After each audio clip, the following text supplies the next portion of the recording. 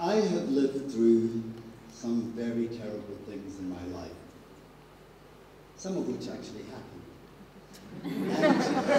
I love that Mark Twain quote because it reminds me of my mother. It's the sort of thing my mother would have said. My mother also used to say, Stuart, comb your hair forward because you've got a very big forehead. she used to also say, Stuart, speak slowly. People don't understand you. So, Mum, I'm working on both of these things today. in the book, All I Really Need to Know I Learned in Kindergarten, written by Robert Fulghum, the author recounts for us the story of how one day he's left with a group of children to look after. So he decides to play a game called Wizards, Giants, and Dwarfs. And the purpose of the game is not only just to keep the children busy, but to see what group they'll belong to. So when all the kids were running around in chaos, there was one little girl that walked up to Robert Fulghum, pulled him by the trouser legs and said, where do the mermaids stand? well, there are no mermaids. To which she replied, oh yes, I am one. You see, she didn't relate to the category of wizard, giant, or dwarf. She knew her category, which was mermaid. She wasn't about to leave the game and go over and stand against the wall where a loser might stand. She intended to participate, wherever mermaids fit into the scheme of things. When I first heard that story years ago, it struck me with such impact. Firstly, because I knew that if it had been me at that age, I would have just surreptitiously slipped in with the dwarfs.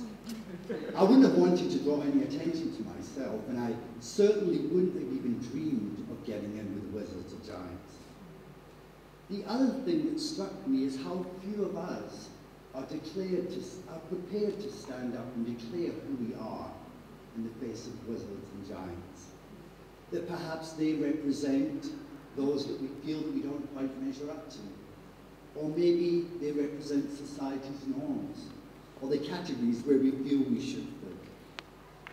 When I was 12, I came with my family from Scotland to South Africa, and about three days after I arrived, I had experienced a really traumatic experience at the school civvies day. Now, this is a day where you can come to school just dressed in normal clothes. So I exited from the school bus that day dressed the epitome of small town Scottish 1970s fashion, which was high-waisted pants, mm. Bell-bottoms, platform shoes, and one look around at what everyone else was wearing, and I pretty knew that I had made the fashion faux pas to beat old-fashioned faux pas. And if you're trying to get the visual, think of the rock band Bay City Rollers at that time. I know, right? I looked at the rest of the school as if I'd just parachuted. and the story doesn't finish there because my briefcase was an old, my, my suitcase with my, well, well, it was like that. My case to school was like an old-fashioned briefcase that was more suited to a 50-year-old lawyer than a first-year high school student. and it stuck out like a sore thumb in a sea of backpacks. I was like a mermaid. And I'd love to tell you that day that I held my head up high and I flipped my mermaid tail and I swam comfortably into school, but I didn't. You see, the single most critical thought that people have about themselves is that they're different, but not in a positive way, but in some negative, alienating way. And I was no different. And I spent the rest of the day hiding in the school toilets, feeling quite ashamed and calling myself names like loser and weirdo. Just. Nerves will do that to you. They said you could be real invulnerable at TED, so So I was invited to speak at a conference, and this time I was appropriately dressed, thank goodness. So, so far so good. And I was talking about a communication tool called the Joe Harry window. And as I started to explain this to the audience, I became acutely aware that I had just pitched this completely wrong.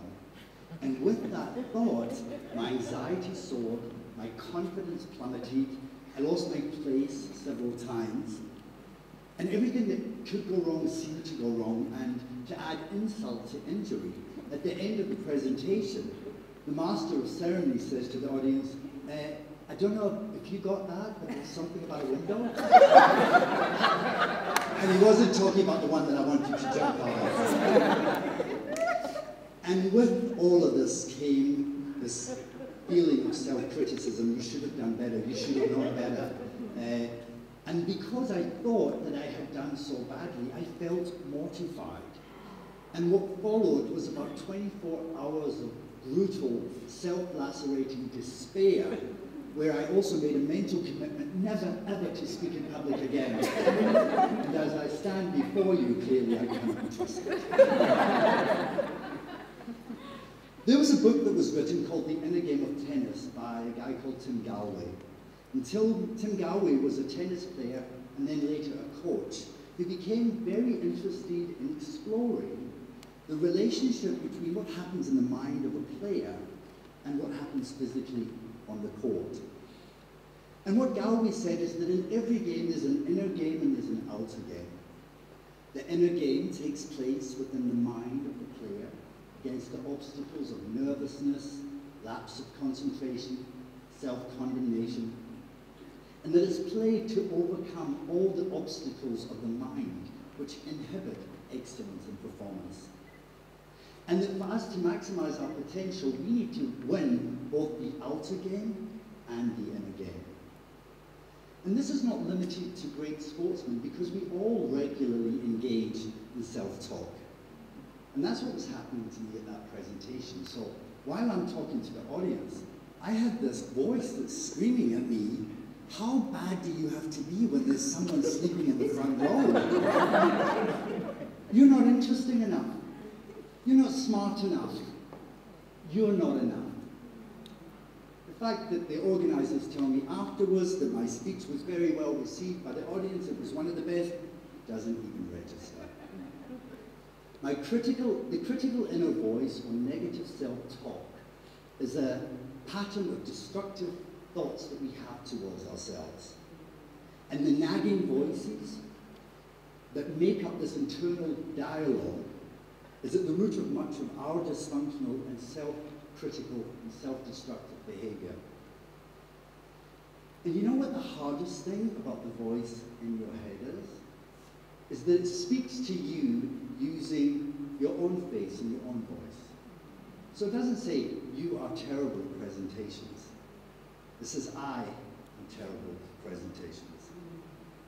And some of us believe that such self-critical talk is helpful that somehow it safeguards us against laziness or making mistakes, and that the harder that we are in ourselves, the somehow better we'll be. But the opposite is true. And let's think about it. I mean, there's a huge difference between if we say something to ourselves like, don't eat anything fatty, and fatty, don't eat anything. So how do we go about changing our thinking? Well, one of the ways is for us to start to become aware of the many mistakes that our mind makes on a daily basis, and we're not even aware of it. And we call these thinking errors. And I'm going to share with you three that I'm particularly good at. The one is catastrophizing. Now this is when a person unhealthily focuses on an error to such an extent that a relatively small mistake starts to feel like a catastrophe presentation. Personalization is another one, and this is where we personalize what happens to us, even though it's something that's not even in our control. So the guy who's sleeping in the front row, well, you know, maybe it tells me more about him than it does about me as a presenter. Another thinking error is what we call polarized thinking. And this is the fallacy of thinking that things are either right or they're wrong.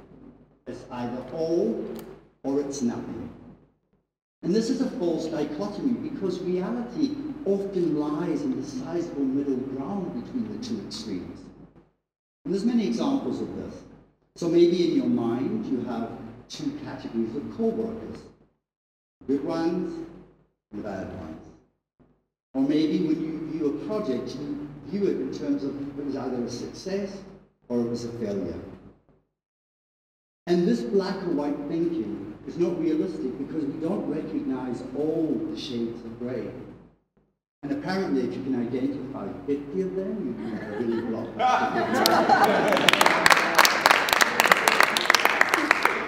So the way that we think about things seriously affects where we are. Now, there's no right or wrong thinking, but there is helpful thinking and there's unhelpful thinking. So here's the rub. I have been dealing with negative self-talk, uh, thinking errors, and all its associated anxiety for as long as I can remember. And you know what? I'm still catastrophizing. I'm still personalizing. I'm still polarizing. I have my voices, I have my mother's voices, and I'm pretty darn sure if I really listen very carefully, I can even hear some of your voices. but what I have come to discover is to let the critical voice be and just accept it. I can't stop the thoughts. You know, in the Buddhist view, they say you can't control what pops into your head.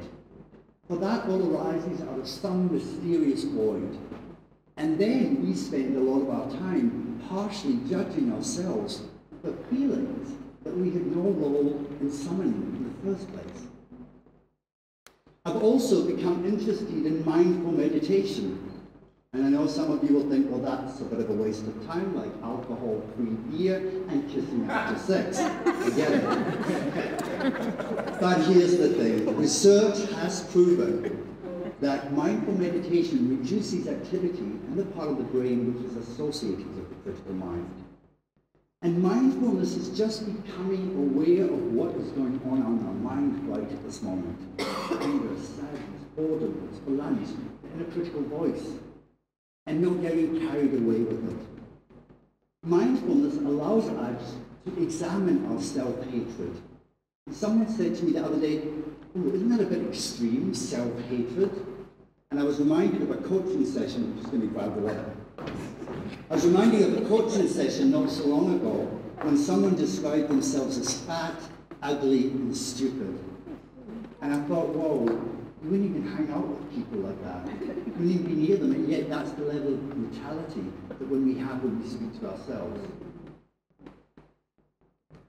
Mindfulness is all about leaning into the problem by becoming aware of it which is pretty radical for most of us when you consider that our normal reflex is to buy something, or eat something, or avoid it completely, or open a bottle of wine, or take another anti-anxiety medication.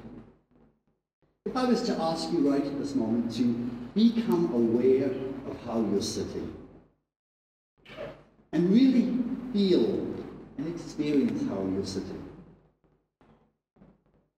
you probably start to become aware of something that you were not even conscious of a few seconds ago. Some of you will have already adjusted your posture ever so slightly. Others are going, there's no way I'm moving because he's mentioning it. but that's what happens, is just by drawing attention to how you're sitting encourages the changes. And that's what meditation does. Meditation allows us to watch our thoughts, without attaching to them, without breathing life into them, without judging them, without reacting. And then we start to realize that the thought, I am a weirdo, is just a thought. And whilst it might be your thought, it doesn't describe you. And we also start to notice that thoughts aren't solid. They appear in our awareness and we watch them in a large projection screen in our mind to which we're the audience. So in meditation, we watch and we observe while staying anchored in reality, and we start to realize that without the juice of your attention, they simply disappear without a trace.